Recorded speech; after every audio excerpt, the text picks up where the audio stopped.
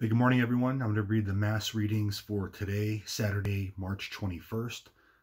And if you hear any noise in the background, it's because my daughters are watching Frozen 2 for about the thousandth time, okay? so let's go ahead and get started. Um, today's first reading is from the prophet Hosea.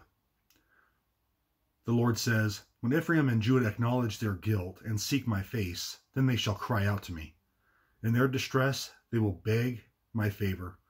Come, let us return to the Lord, for it is he who has torn, and he will heal us. He has struck us down.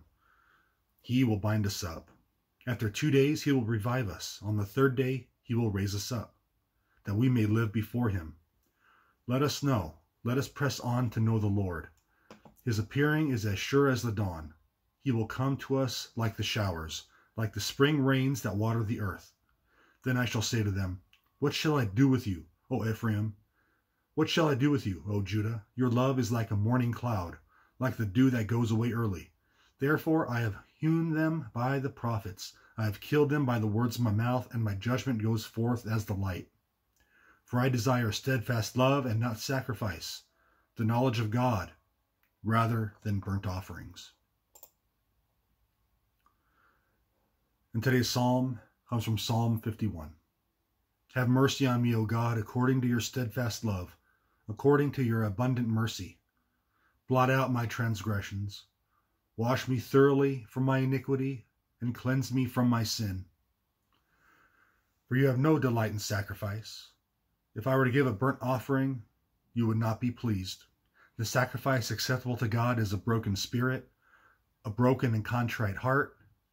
O God, you will not despise. Do good to Zion in your good pleasure. Rebuild the walls of Jerusalem. Then you will delight in right sacrifices, in burnt offerings, and whole burnt offerings. And today's gospel reading comes from the Gospel of Luke in chapter 18. Jesus told this parable to some who trusted in themselves that they were righteous and regarded others with contempt. Two men went up to the temple to pray, one a Pharisee and the other a tax collector. The Pharisee, standing by himself, was praying thus God, I thank you that I am not like other people, thieves, rogues, adulterers, or even like this tax collector. I fast twice a week. I give a tenth of all my income.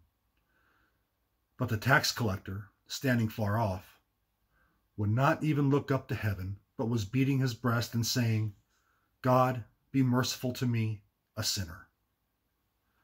I tell you, this man went down to his home justified rather than the other. For all who exalt themselves will be humbled, but all who humble themselves will be exalted. As these are the readings of Holy Mass for uh, March 21st, 2020. I want to reiterate that you are all in my prayers. And God bless you all and stay safe out there. God bless you.